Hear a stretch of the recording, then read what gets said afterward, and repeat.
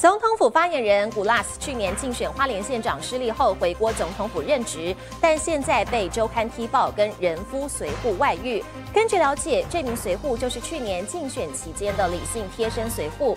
他的妻子发现两人亲密对话，一气之下就把古拉斯告上法院，求偿百万。而古拉斯解释不清楚对方的婚姻状况，目前两个人没有联系，更火速请辞发言人职务或总统准辞。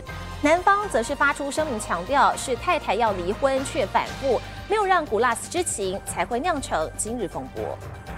花莲人要解隔离。去年九合一大选，古拉斯以总统府发言人身份竞选花莲县长，蔡总统南下力挺，当时身边总是跟着这名帅气高大的随护，但如今却遭周刊爆料，古拉斯和李姓随护爆发不伦恋。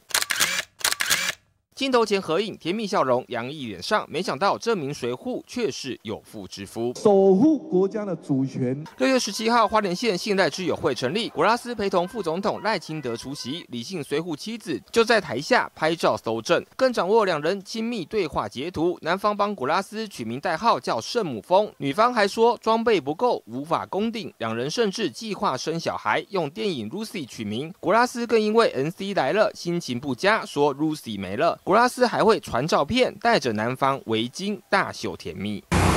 两人甚至到民宿约会。李姓随护妻子突袭检查，还在房间内找到古拉斯的包包与灰色鸭舌帽。总统怎么看？古拉斯发言人卷出婚外情风波，有关心吗？蔡总统低调没回应，但总统府发出声明证实古拉斯请辞发言人。蔡英文也火速准辞，考量到社会观感以及。领导同意李渊调整为非主管职务。李新随护大选后归建，升任月梅所长，也发出声明向女方致歉，说太太同意离婚却反复，状况没让对方知情，还说对古拉斯的想象仅止于对话，从未有过亲密行为。